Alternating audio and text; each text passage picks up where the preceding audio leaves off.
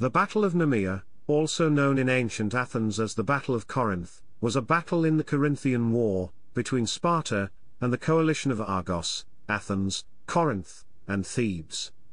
The battle was fought in Corinthian territory, at the dry bed of the Nemea River. The battle was a decisive Spartan victory, which, coupled with the Battle of Coronea later in the same year, gave Sparta the advantage in the early fighting on the Greek mainland.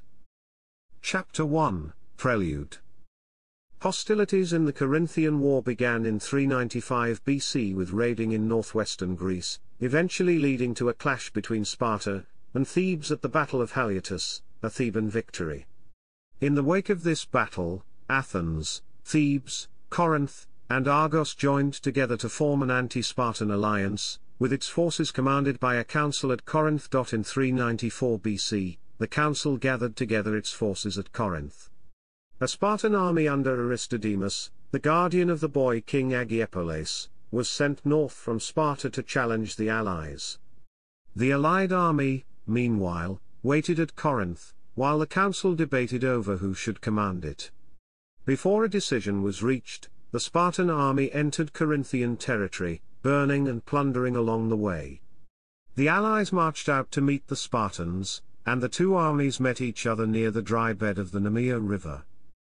Chapter 2 The Battle The Spartan army was composed of some 18,000 to 19,000 hoplites, with associated light troops.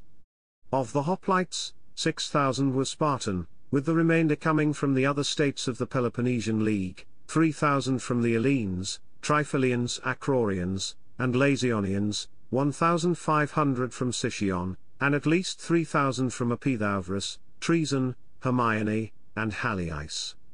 There was also a cavalry force of about 600, about 300 Cretan archers, and at least 400 Marganian, Letrinian, and Amphidolian slingers. Opposing the Spartans, the allied side consisted of about 24,000 hoplites, with associated light troops. Thebes, Athens, and Argos each provided about one quarter of the allied hoplites, 6,000 hoplites from Athens, about 7,000 from Argos, 5,000 from the Boeotians, 3,000 from Corinth, and 3,000 from Euboea. Of the allied cavalry, 800 were Boeotian, 600 were Athenian, about 100 from Chalcis in Euboea, and about 50 from the Ozolian Locrians. The Spartans and their allies lined up for battle with the Spartans on the right and the allies on the left.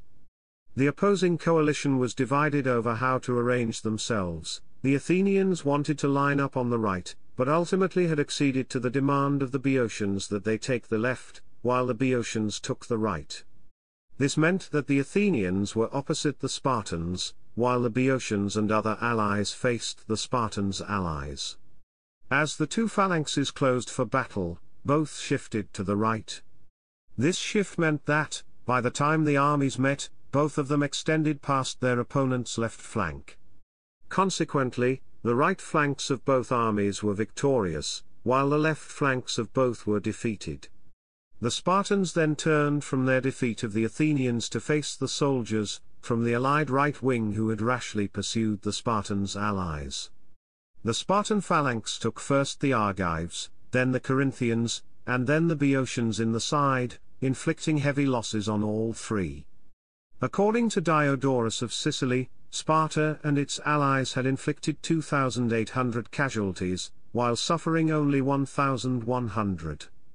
Xenophon tells that the Spartans only lost eight men. The main source of the battle is the pro-Spartan historian Xenophon, who put most of the blame of the Allies' defeat on the arrogance and indiscipline of the Thebans.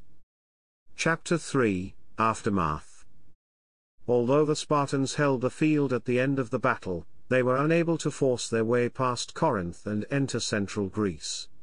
Accordingly, they returned home. The Allied army, after several months of inactivity, saw action in a second major battle at Coronea later in the same year. These two battles marked the only traditional large-scale land fighting that would take place in the war, which lasted until 386 BC.